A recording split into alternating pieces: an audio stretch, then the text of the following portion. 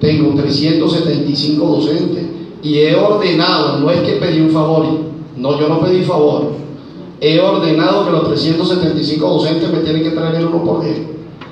Y los docentes, cada docente va a estar pendiente de 5 estudiantes. Y esos 5 estudiantes van a tener su 1 por 10. Y vamos a tener la supervisión directa, los jefes de unidades, los coordinadores de carrera, los coordinadores de ampliaciones y el decano, para que se cumpla. Porque en la UNEFA tenemos que dar más de un millón de trescientos mil votos un millón doscientos y tanto. Así que esto es reflexión para todos, porque pareciera que nos estamos jugando a la derrota y no estamos viendo realmente la gravedad de lo que está haciendo la oposición, que hasta es debil, a nosotros como unefistas.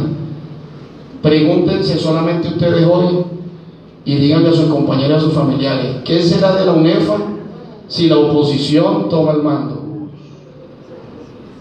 O sea, tenemos que ver lo que nos estamos jugando. No esto, esto no es mamadera de galla. Aquí tenemos que tomar las cosas en serio.